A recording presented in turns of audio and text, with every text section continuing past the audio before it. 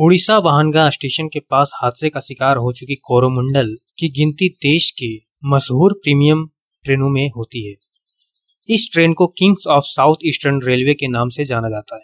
इस prestigious train में सफ़र करना उस रूट के यात्रियों की ख्वाहिश होती है और यह ट्रेन पश्चिम बंगाल राज्य, कोलकाता में हावड़ा के सालीमार स्टेशन से चेन्नई सेंट्रल रेलवे स्टेशन के बीच चलती है। आपको बता दें, जनवरी 2022 से पहले कोरोमंडल एक्सप्रेस हावड़ा से चलती थी। यह ट्रेन भारत में सबसे पहले की सुपरफास्ट ट्रेनों में से एक है। कोलकाता और चेन्नई की यात्रा करने वाले अधिकांश लोग इस ट्रेन को पसंद करते हैं और ये ट्रेन पूरे साल खचाखच भरी रहती है। जहाँ तक इस ट्रेन की बात करें तो काफ़ी पुराना इतिहास रह चुका है। साल 1977 में इस ट्रेन का शुरुआत हुआ था। जी हाँ दोस्तों, कोरोमंडल एक्सप्रेस ट्रेन का उद्घाटन 6 मार्च 1977 को किया गया था।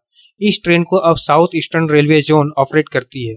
इसे पहले बी एन आर अर्थात बंगाल नागपुर रेलवे के नाम से जाना जाता था। ये ट्रेन सोलह किलोमीटर की यात्रा 25 घंटे 30 मिनट में पूरी करती है और इसके चौदह स्टॉपेज हैं। अगर इस ट्रेन की नाम की बात की जाए तो चोल वंश के क्षेत्र को तमिल में चोल मंडलम कहा जाता था, जिसका शाब्दाविक अनुवाद चोलों का क्षेत्र है।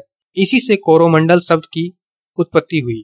कोरोमंडल तट भारतीय प्रायद्वीप के दक्षिण पूर्वी तट को दिया गया नाम है। बंगाल की खाड़ी के साथ भारत की पूर्वी तट को कोरोमंडल तट कहा जाता है। और इसीलिए इस ट्रेन को यह नाम दिया गया, क्योंकि यह कोरोमंडल तट की पूरी लंबाई को पार करती बीते शाम हुई घटना की बात की जाए तो आपको बता दें, ओडिशा के बालासोर में बहानगा स्टेशन के पास शुक्रवार आने 2 जून 2023 की शाम करीब सात बजे कोरोमंडल और हावड़ा एक्सप्रेस ट्रेनों की टक्कर एक मालगाड़ी के साथ हो गई, जिससे यह भीषण हादसा हुआ।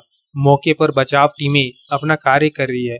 प्रभावित लोगों को हर संभव सहायता प्रदान की जा रही है। इस हादसे को लेकर राष्ट्रपति से प्रधानमंत्री तक ने गहरा दुख जताया है। जानकारी के मुताबिक आपको बता दें, ऐसा नहीं है कि यह पहली घटना है। इसके आगे भी कई घटनाएँ कोरोमंडल के साथ घट चुकी है।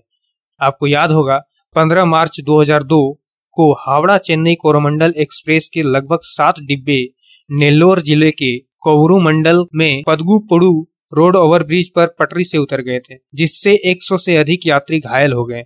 नेल्लोर ज़िले में मुख्य रेल ट्रैक की खराब स्थिति को दुर्घटना का कारण माना गया। 13 फरवरी 2009 को कोरोमंडल एक्सप्रेस उड़ीसा में भुवनेश्वर से लगभग 100 किलोमीटर दूर जाजपुर क्योझोर रोड पर के पास पटरी से उतर गई। जिसमें कम से कम पंद्रह लोग मारे गए और कई घायल हो गए। पटरी से उतरने का कारण ज्ञात नहीं। अब उस जगह पर ट्रेन धीमी रफ्तार से गुजरती है। दुर्घटना के समय कोरोमंडल एक्सप्रेस 115 किलोमीटर प्रति घंटा की गति से चल रही थी। 30 दिसंबर 2012 की सुबह ओडिशा के गंजम ज़िले में कोरोमंडल एक्सप्रेस की चपेट में आने से छह हाथियों की मौत हो गई थी। ट्रेन में सवार एक बेडरोल अटेंडेंट की भी दुर्घटना में मौत हो गई थी। 14 जनवरी 2012 को लिंगराज रेलवे स्टेशन के पास चेन्नई से आ रही कोरोमंडल एक्सप्रेस के एक जनरल डिब्बे में आग लग गई। हालाँकि इसमें किसी को कोई चोट नहीं आई, क्योंकि तुरंत फायर ब्रिगेड को बुलाया गया और 20 मिनट के भीतर आग पर काबू पा लिया गया। 18 अप्रैल 2015 को निदादावोलू जंक्शन पर ट्रेन में आग लग गई, जिसमें दो बोगियाँ क्षतिग्रस्त हो गई।